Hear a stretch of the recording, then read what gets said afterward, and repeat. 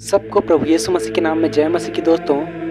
दोस्तों, मनुष्यों के बीच में अपने अपने भगवान और देवी देवताओं को लेकर काफ़ी ज़्यादा वाद विवाद होता रहता है। कोई कहता है, हमारा भगवान सबसे महान और शक्तिशाली है तो कोई कहता है, हमारा ईश्वर सबसे सच्चा और सर्वशक्तिमान है। दोस्तों, इसी प्रकार हमारे यह विश्वासी तथा अन्य धर्म संप्रदाय के लोग मसीह भाई बहनों के ऊपर दोष लगाते हुए सवाल करते हैं और वे लोग कहते हैं कि ईसाई लोग अपने भगवान यीशु मसीह के नाम को ऊँचा करने के लिए लोगों को पैसों का लालच देकर अपनी ओर करते हैं और छोटे छोटे बच्चों का ब्रेन वॉश करके उनके दिमाग में यीशु मसीह के नाम को भरते हैं और उन्हें यीशु मसीह के नाम को ज़बरदस्ती बुलवाते हैं। दोस्तों, मैं राजीव दीक्षित सर का एक वीडियो क्लिप आपको दिखाना चाहता हूँ, जिसमें वह बता रहे हैं कि किस प्रकार ईसाई मिशनरियाँ छोटे छोटे बच्चों का ब्रेन वॉश करके उनके दिमाग में यीशु के नाम को बैठाते हैं। तो चलिए पहले इस वीडियो को देख लेते हैं, फिर आगे हम बात करेंगे।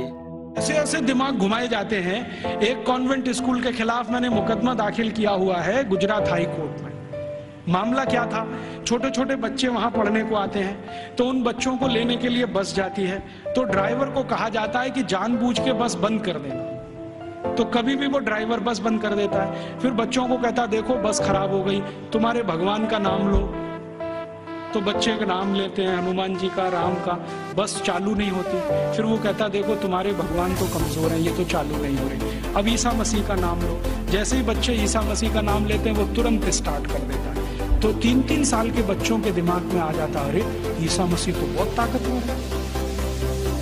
फिर वो बच्चे आके अपने घर में मम्मी पप्पा को बोलते हैं अरे देखो, हमारी बस खराब हो गई थी। हमने ईसा मसीह का नाम लिया, वो चालू हो गई दोस्तों, कहीं न कहीं राजीव सर की बातें सही भी है, क्योंकि कई सारे ईसाई मिशनरी स्कूल्स में इस प्रकार की बातें होती। देखिए, मैं पहले आपको यह बता दूँ कि मिशनरी स्कूल्स विशेषकर रोमन कैथोलिक चर्चेस की ही होती है। देखिए, मेरे हिसाब से कोई भी मसीह भाई बहन इस प्रकार धोखे से बच्चों के अंदर यीशु मसीह को एक सुपर हीरो के रूप में दर्शाना गलत है, ऐसा नहीं करना चाहिए। लेकिन मैं आपको यह कहना चाहूँगा कि आप लोग अपने बच्चों को यीशु मसीह के बारे में बताएँ, उनके गुण और स्वभाव तथा चिन्ह चमत्कारों के बारे में बताएँ। हर रोज प्रभु के वचनों के साथ बड़ा करें, ताकि उनमें परमेश्वर का प्रेम, आनंद और शांति बनी रहे। साथ ही साथ बच्चों के अंदर अच्छे अच्छे गुणों का उत्पन्न भी होगा। देखिए, कहीं पर भी आप लोगों को यीशु मसीह के बारे में बताएँ तो निस्वार्थ भाव से बिना डरे बेझिझक लोगों को यीशु मसीह के बारे में बताएँ, ताकि वे भी अपने पापों से मन फिरा कर प्रभु यीशु पर विश्वास करें और उनका जीवन भी उद्धार हो सके।